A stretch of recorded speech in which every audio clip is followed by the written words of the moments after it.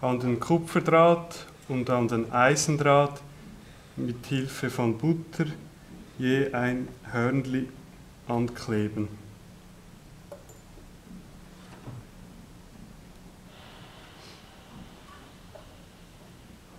Und in die Tasse stellen.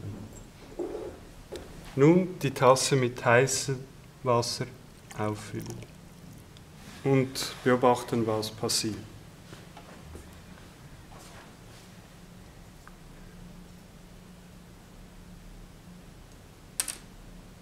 Wie man nun sehr schön erkennen konnte, dass zuerst beim Kupferdraht der Butter zuerst geschmolzen wurde und dann sich loslöste von dem Draht.